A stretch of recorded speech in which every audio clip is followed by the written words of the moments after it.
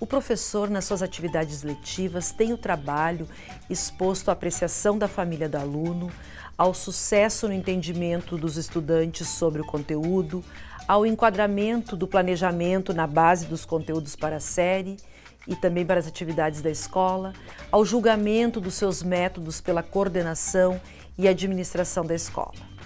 Você que é professor pode estar me ouvindo e pensando: eu não. Se eu for dar bola para tudo isso, fico louco. Eu entro na sala de aula sozinho, sem pensar em agradar ninguém. Podemos até nos esforçar para isso, mas o certo é que, independente do nosso querer, os aspectos que eu mencionei anteriormente entram junto com o professor na sala, porque existem e rodeiam o processo de acordo ou não com a vontade do professor.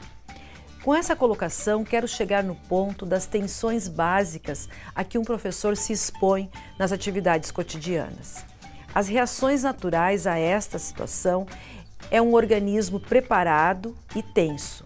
Circuitos do cérebro são ativados e o corpo fica de prontidão. Esse estado, que é ativado naturalmente, da mesma forma deve desativar. Numa situação de tensão, o cérebro tem dificuldades de elaborar e criar, porque está focado em sobreviver. É assim, geralmente, que o professor chega ao final do ano, sobrevivendo. Por isso, precisa descansar.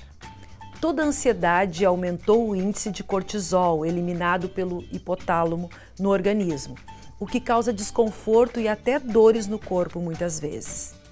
Desacelerando, melhorando o sono, que também é regulado por químicas cerebrais, os neurotransmissores, você pode melhorar o humor, a memória e a atenção. Férias de pelo menos sete dias recuperam energias em vários sentidos. Nos primeiros dias de férias, você ainda está no ritmo do trabalho, precisa de um tempo para desacelerar. Relaxar nas férias é desligar-se do trabalho cuidando especialmente para não se colocar em situações desafiadoras para a sua mente. E ainda, cada um vai descobrir a sua forma de relaxar. Enquanto alguns relaxam saltando de paraquedas, outros relaxam fazendo trabalhos manuais.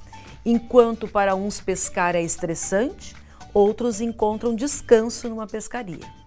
O importante é desligar periodicamente o estado de alerta do cérebro, a fim de que as ideias se renovem e sejam processadas as elaborações.